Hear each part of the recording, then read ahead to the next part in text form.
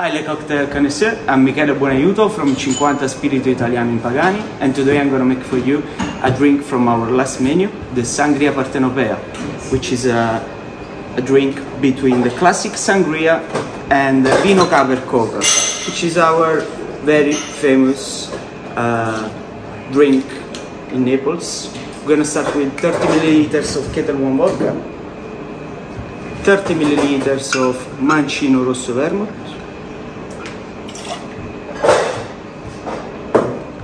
30 milliliters lemon juice, 10 milliliters of Vetz aperitivo,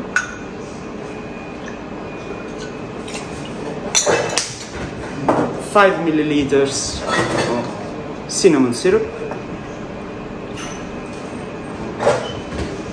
Then we're going to add to our mix um, peach yogurt, which is gonna make actually a milk punch, to, and we're going to clarify it. After 24 hours in the fridge, we're going to uh, filter it, and this is gonna be the result.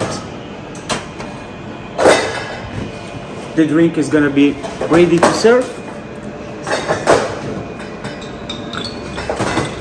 We're going to serve in our classic wine jug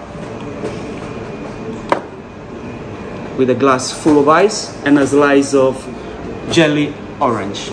Salute.